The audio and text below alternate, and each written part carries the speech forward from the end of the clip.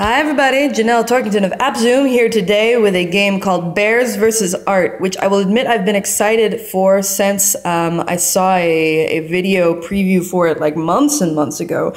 Um, I think the um, the premise is that you are a bear whose home has been destroyed to make way for a museum. Yeah, you get this really cool um, intro here, which we're gonna skip. You should watch it if you download it. Um, right. Um, so your home has been destroyed to make way for a museum, so you want to destroy all art, um, which is pretty funny in itself.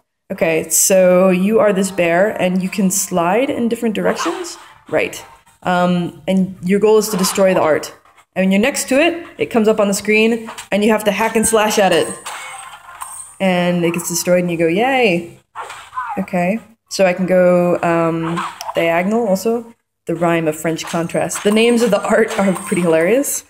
Um, the bear with the pearl earring. Um, the art looks based off of real art. Graphics are pretty good. Um, and the levels get harder as they go along, clearly. Okay. So I've destroyed all the art in that level. And now I get another level here. Okay, so like Candy Crush, for example, you're working your way along a map. Uh, the place is pretty packed with um, ooh, different free to play mechanisms. Like um, it, it gives you energy, uh, what it calls entry fees. Um, so you can only play a certain amount of times before having to um, either pay to play again or wait a day to play again, which is honestly pretty annoying. Um, I don't see why you shouldn't be able to play a simple little game like this as much as you want. Um, eh, you also can upgrade your bear with costumes and the like in the market with these these coins that you win. Um, it's kind of cool that it tells you like what is the most expensive thing that you destroyed. I can change my bear's color. Yeah, there's like a zillion different upgrades. Yeah, but they, they like cost real money to change the color of the cartoon bear on the screen, which I think is pretty silly. Okay. And I can take a picture of it, I guess. Okay. Um uh costume showroom VIP. Yeah, like it's just it's awfully packed this game with um extras that are trying to get you to spend real money um instead of the fake money that you're destroying on the walls of the museum. Um the mechanism of the puzzles is pretty good. I mean, oh, oh there we go. Happy padding. Um, I mean, it's it's not bad as puzzles go. It's not brilliant, but it it's vaguely fun. Uh, okay, and it's it's kind of cool to be a bear like thrashing around in a museum. Um, and the sound of the money jingling is uh, entertaining.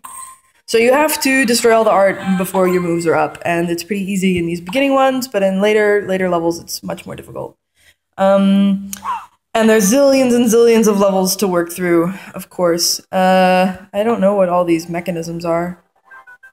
Oh my god, there are so many levels under construction, even room for more and the inbox I could connect using Facebook and it would give me more coins. You got the dual currency going on with coins and diamonds. I mean, like you could get really into this game, and there are people who do get into these free to play mechanisms, but they're not so much for me. And the entry fee thing um, kind of gets my goat. I gotta admit. Um, it doesn't make sense to me that a, a free game is not actually free. The envious dimension. Um, the names of the art are super funny though.